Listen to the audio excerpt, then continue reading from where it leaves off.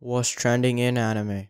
Gleipnir's Anime's second video unveils ending song artist April 5 premiere. The official website for a television anime of Sun Takeda's Gleipnir manga update on Tuesday with the anime's second promotion video and a new key visual. The video reveals that the international music group Mili is performing the ending theme song, which is called Rain, Body Fluids, and Smell and that the anime will premiere on April 5th. Here's how the publisher describes the first volume. Shuichi Kagaya, an ordinary high school kid in a boring little town. But when a beautiful classmate is caught in a warehouse fire, he discovers a mysterious power. He can transform into a furry dog with an oversized revolver and a zipper down his back. He saves the girl's life, sharing his secret with her, but she's searching for the sister who killed her family. She doesn't care how degrading it gets. She will use Shuichi to accomplish her mission. Okay, I'm not gonna lie, this sounds like I don't know what the fuck this of show is, but I guess furries will like this of show because it's centered around I guess a humongous dog looking thing. I don't even know what it is. Hey, I guess it's different, boys. If you're, if you're a furry man, shit, this is the anime for you, man. Check this one out, man.